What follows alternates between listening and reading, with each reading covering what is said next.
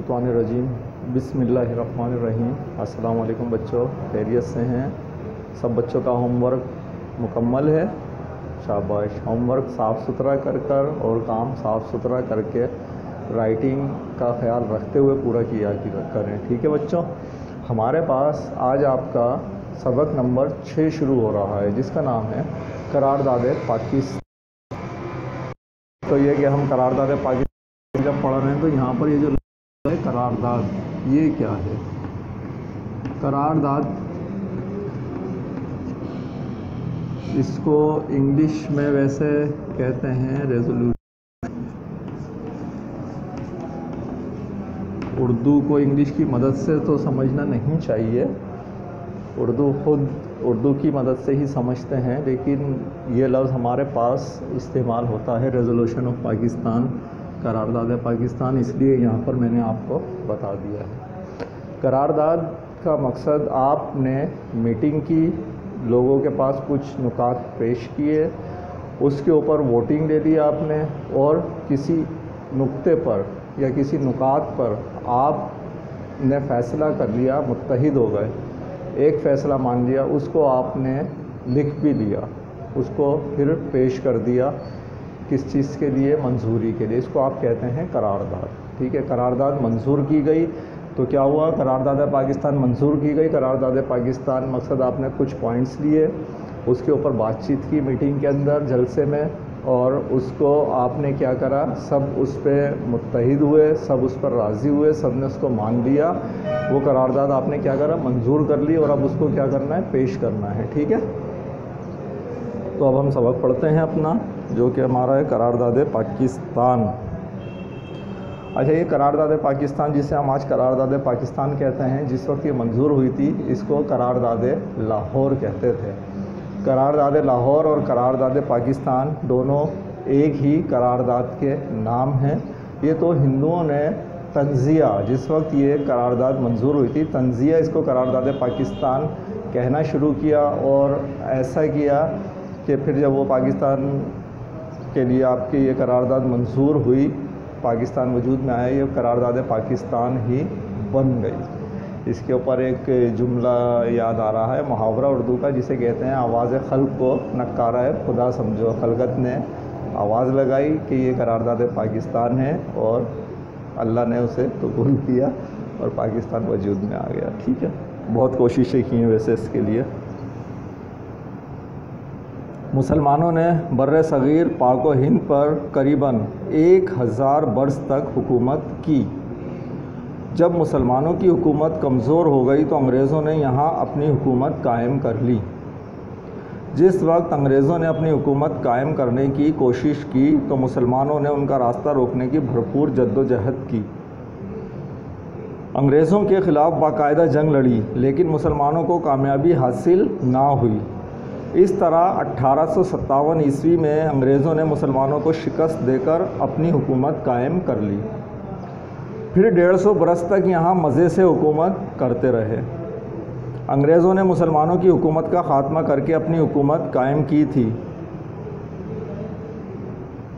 इसलिए उनको हर वक्त फ़िक्र रहती थी कि मुसलमान कहीं दोबारा ना उठ खड़े हों।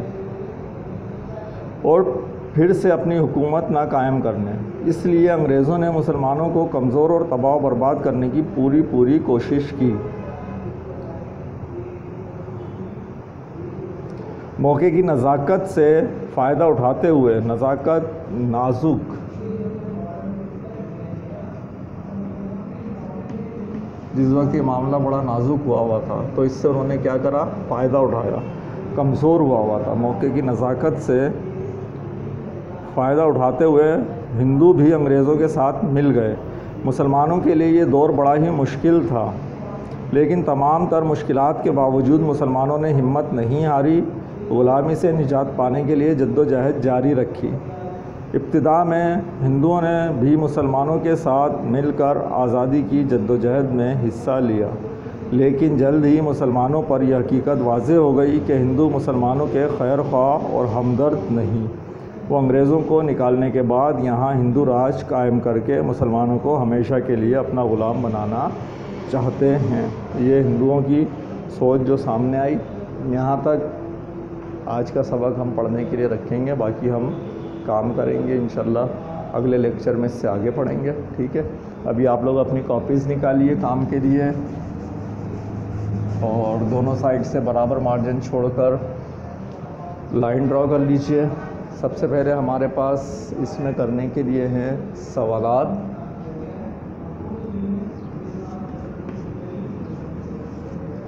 क्लास वर्क में क्या है? सवालात हैं पहले तो। आप एक सवाल करेंगे, वीडियो रोकेंगे और अगले सवाल के कॉपी से पहले पहले का जवाब पूरा कर लेंगे। पहले का जवाब करने के बाद अगला सवाल कॉपी करेंगे, ठीक है बच्चों? तो पहला सवाल हमारा आज का।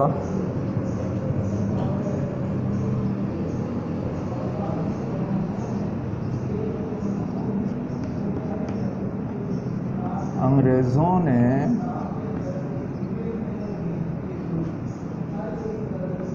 बर सग़ीर पर अपनी हुकूमत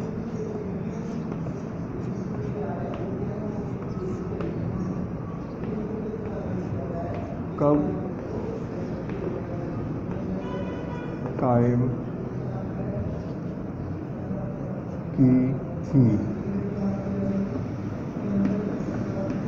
ठीक है, वीडियो रोक कर आप फटाफट सवाल का जवाब लिखें। कर लिया, दूसरा सवाल कीजिए अब।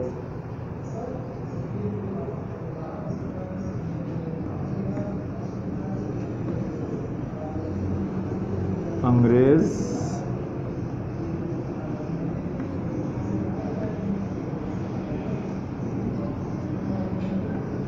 मुसलमानों के दुश्मन क्यों बन गए थे?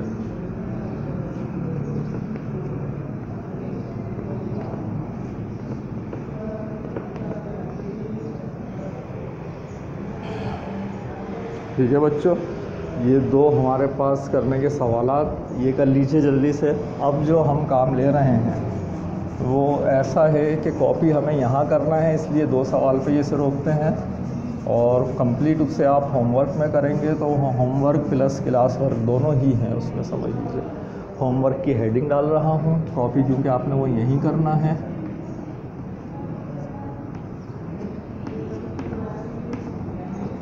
बाकी उसमें करना क्या है, ये मैं कॉपी करने के बाद बताऊँगा। आप इनको सीधा सीधा होमवर्क में से मिटा दे रहा हूँ, पूरा ही बोर्ड पूरा इस्तेमाल कर लेते हैं। ठीक है बच्चों तो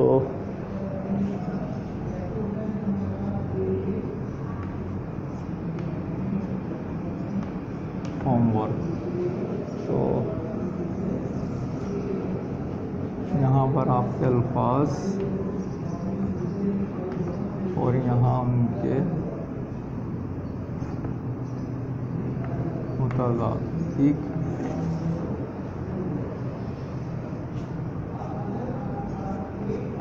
तो कमज़ोर का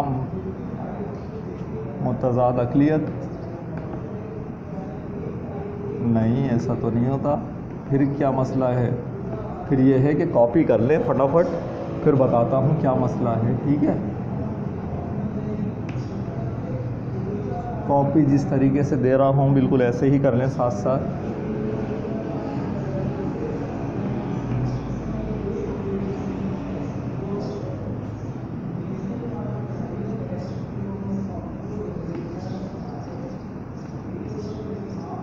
शिकस्त मुसलमान।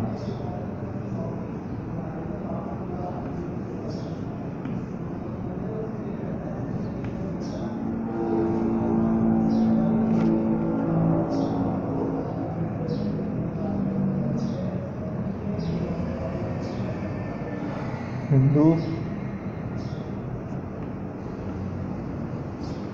बेकायदा।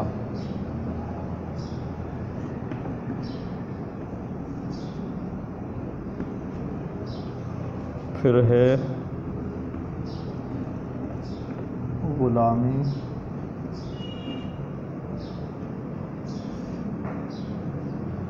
के आगे? आज़ादी।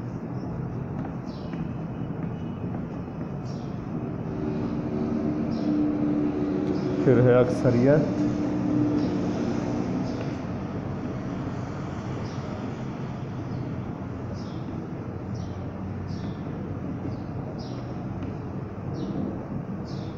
अक्सरियत के सामने नाकामी।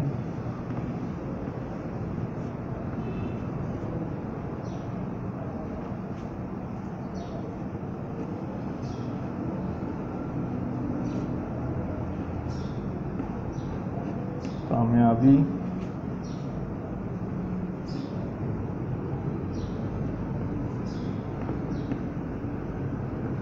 ताकतवर ठीक है बच्चों, ये आपने कर लिया। अब आपने पता है क्या करना है? आपने लगाने हैं number. One two three four five six seven ठीक है? इस, ये जो कमज़ोर है, इसका मुतजाद आपको जहाँ पर भी मिले, उसके सामने आपको एक नंबर लगा देना। ये एक नंबर का है ना तो इसका मतजाद का कमज़ोर का क्या है? ताकतवर तो आपने यहाँ क्या करना है? एक नंबर यहाँ लगा दें और या फिर इसके सामने यहाँ लगा दें। ठीक है बच्चों? तो आपने इन सब पे नंबरिंग कर देनी है। इस तरीके से उसके उलट मायने के एतबार से, अल्फाज मतदाद के एतबार से, ठीक है? ये आपका होमवर्क है। इन अगले लेक्चर के साथ आपसे मुलाकात होती है। अल्लाह हाफिज़।